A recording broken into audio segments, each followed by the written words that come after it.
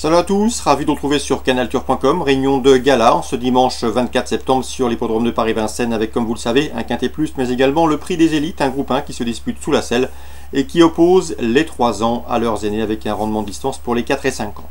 Concernant le quintet, il s'agira du prix Nive. voici tout de suite ma sélection pour cette course. J'ai placé en tête numéro 12 euh, Picon, un cheval qui a déjà l'occasion de briller sur notre sol. Il a remporté un quintet plus courant juin sur le parcours qui nous intéresse et ce en une 13-2 soit le meilleur chrono du peloton sur ce parcours. Une confirmation est ici attendue. On lui posera le numéro 8, Viking Fromentro, qui sera déféré les quatre pieds, contrairement à sa dernière sortie du 15 septembre. Sachez qu'il est efficace pieds nus et qu'il avait pris une bonne quatrième place dans un quintet, le prix de la Concorde, le mois dernier, à Anguin. Le numéro 2, Angelo AM, se présente au départ de cette course en pleine possession de ses moyens, en atteste ses derniers résultats. Il reste sur 7 podiums consécutifs et 3 récents succès. Il revient à Vincennes avec des ambitions.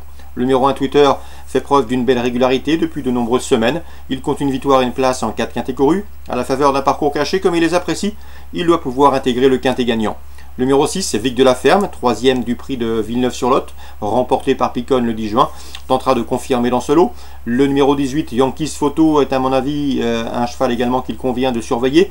Euh, selon moi, il n'a pas de marge de manœuvre, mais c'est le plus riche du lot et surtout, il sera déféré des quatre pieds pour l'occasion. Ça n'a plus été fait depuis deux ans. Le 18 est Yankees Photo.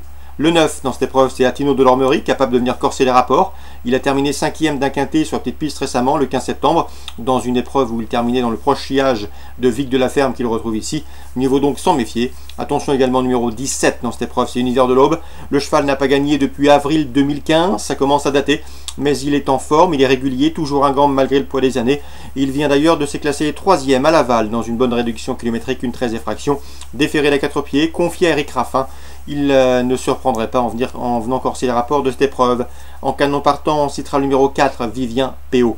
Résumé chiffré pour ce prix d'Ansnick, un T de ce dimanche 24 septembre, 12, 8, 2 As, 6, 18, 9 et 17. Sur les programmes, dans la première, j'aime beaucoup le 105 Bellenissimo qui revient sous la selle, euh, qui évoluera sous la selle et qui revient à Vincennes avec de sérieuses prétentions. Le cheval est déféré des quatre pieds pour cet objectif. Notez que sa dernière sortie pieds nus avait été couronnée de succès courant juin à Vincennes, le 105 Bellenissimo. Dans la deuxième, nous avons un cheval estimé au départ, celui présenté par Yves-Marie Vallée. Je vous en ai parlé à diverses reprises. Le cheval a à chaque fois répondu présent. Il affiche désormais 4 victoires. Il reste d'ailleurs sur 4 victoires. À chaque fois, il l'a gagné avec la manière. La dernière fois en gain, c'était courant juillet. Yves-Marie Vallée le tient en estime. Il n'a jamais entraîné un cheval de cette trempe et espère bien ici une confirmation. Le 107 et les du Home. Cela dit, l'opposition à fière allure, je lui le 204 Epsom du Rib, qui fait partie des bons espoirs dans cette promotion de Joël Allais. Il vaut donc le placer en bon rang dans vos jeux. Et le 211 également, El Diablo Dodge. J'ai l'occasion de le retenir avec Vincent Rimbaud. C'est un poulain qu'il estime, un poulain qu'il a ménagé pour cette euh, période, pour ce second semestre. Il faut donc le suivre également. Il peut parfaitement venir euh, se hisser sur le podium. La deuxième, le 7, le 4 et le 11. On passe maintenant à la troisième. On retrouvera au départ le 308 Diego de Bomo et le 307 Direct Way, respectivement affichés premier et deuxième du prix Joseph Aveline. C'était le 9 septembre. À eux de confirmer dans ce lot. Ils en ont les moyens. Et le 312 également, drôle d'espoir, le cheval est en forme.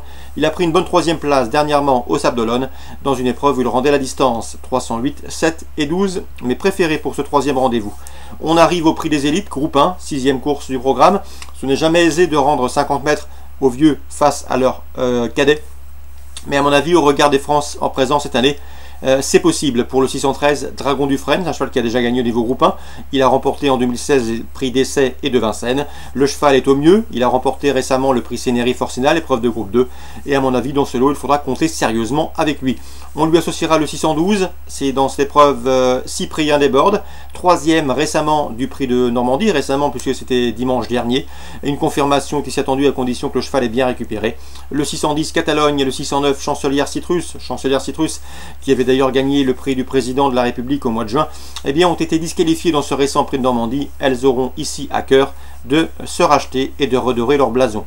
Donc mes préférés pour ce prix des élites, le 13 Dragon du Frêne, le 12 Sréprien des Bordes, le 10 Catalogne et le 9 Chancelière Citrus. Je les pense capables de rendre victorieusement la distance au 607 Eye of the Storm, un cheval qui a l'habitude de gagner autre montée. Réunion 4, Cran, une course ciblée, la 8ème. On retrouve au départ le 807 Astaragoud et le 805 Soul Crazy. Ils se connaissent bien. L'an dernier, dans cette même épreuve, ils avaient formé eh bien, euh, la combinaison gagnante du trio puisqu'ils étaient euh, affichés premier et troisième de cette course l'an passé. À mon avis, ils peuvent faire aussi bien cette année. Le danger pour eux devrait venir du 803 Il Duomo présenté par Bertrand Lefebvre, un cheval qui est en forme selon lui et qui appréciera la longue distance. Il est confirmé sur les parcours de tenue. Et le 801 Asterdini qui à mon avis également dans ce lot dispose d'une belle chance théorique. Donc pourquoi pas tenter des couples trio dans ce huitième rendez-vous à Cran Réunion 4 le 7, le 5, le 3 et le 1. Voilà pour les infos de ce dimanche 24 septembre. Excellent jeu à tous, bon week-end et à très bientôt sur Direct Course.